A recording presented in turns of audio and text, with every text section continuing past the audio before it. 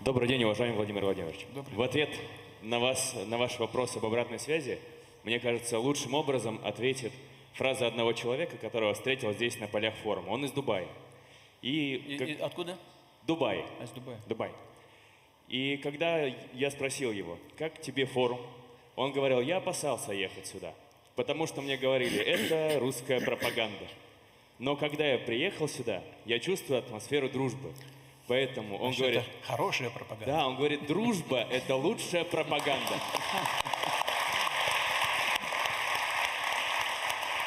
И я хочу поблагодарить вас за этот форум и поделиться своей историей фестивалей. А, Для меня фестиваль 2017 года, который был предыдущим, сыграл колоссальную роль в судьбе, потому что тогда я узнал об искусственном интеллекте.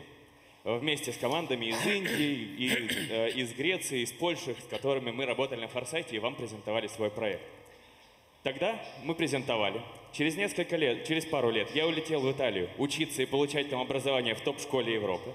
Затем, благодаря конкурсу «Лидера России», я вернулся домой. Здесь строил роботов, и сейчас в команде Дмитрия Николаевича Чернышенко мы развиваем искусственный интеллект России. А, Спасибо. Это пример того, как работают фестивали, как работают наши социальные лифты. И спасибо вам за это огромное.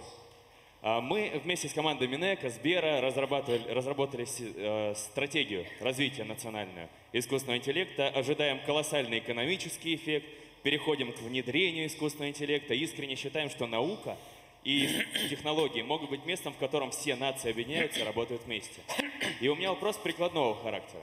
Мы переходим к внедрению искусственного интеллекта. Владимир Владимирович, вы используете ли голосовой помощник? Есть ли у вас дома Яндекс или Сбер или другая голос- умная колонка? Есть ли у вас умный дом? Генерируете ли вы поздравления, картинки своим друзьям? Спасибо.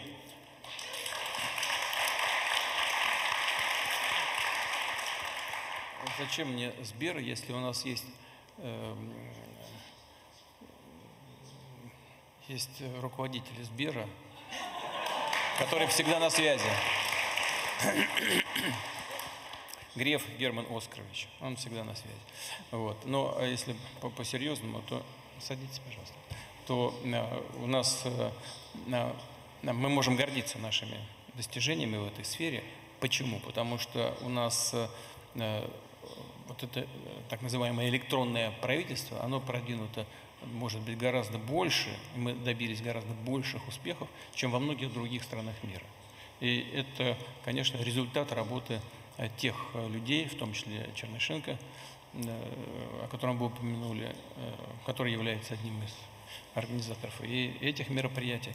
И здесь мы сделали определенные шаги вперед. Но, конечно, этого еще недостаточно.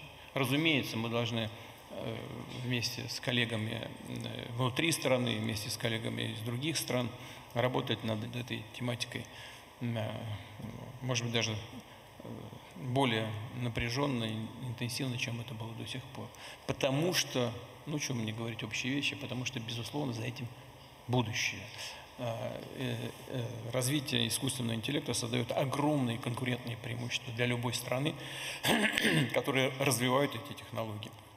И мы, конечно, будем это делать. Мы делаем это и будем это делать.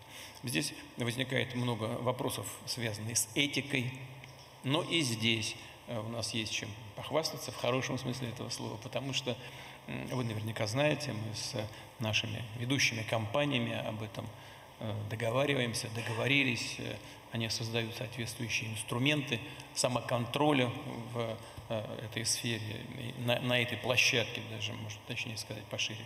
Э, И это тоже очень важно, потому что э, применение искусственного интеллекта остановить невозможно, это очевидная вещь.